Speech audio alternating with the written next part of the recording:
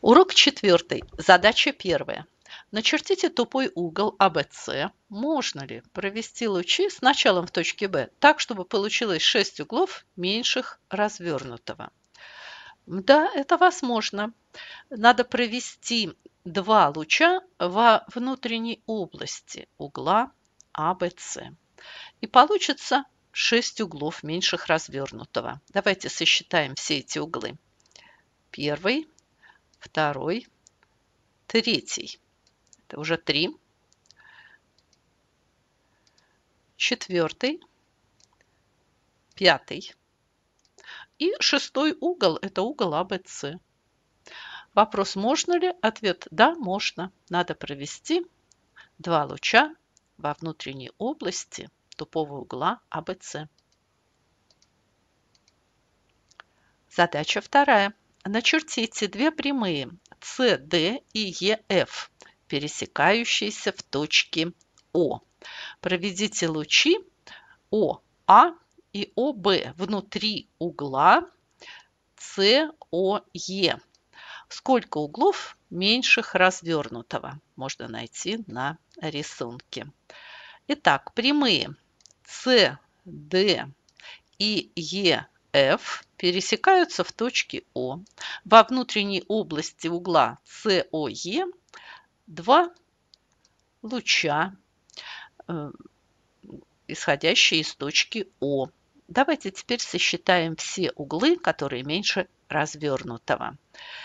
Первый, второй, третий, четвертый, пятый, шестой угол – это угол СОЕ.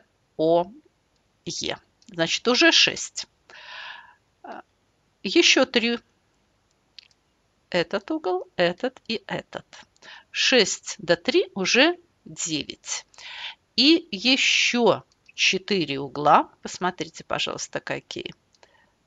Этот угол тупой. Этот.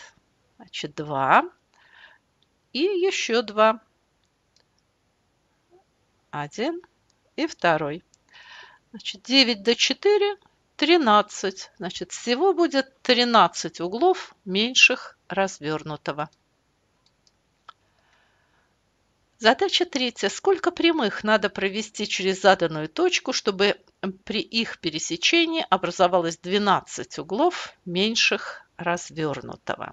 Надо провести э, три прямые, так, чтобы они пересекались в одной точке. Получится 12 углов меньших развернутого. Давайте сосчитаем все эти углы.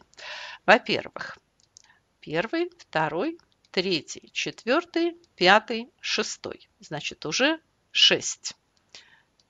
Так, а надо, чтобы было 12. Значит, 1, 2, 3, четыре,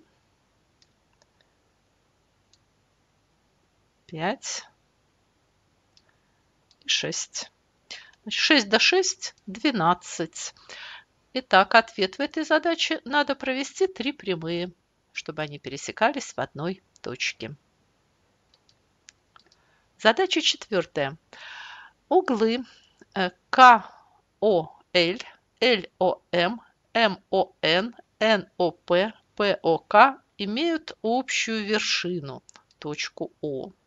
Можно ли провести прямую, не проходящую через точку О, так, чтобы она пересекала только 4 луча э, из этих пяти?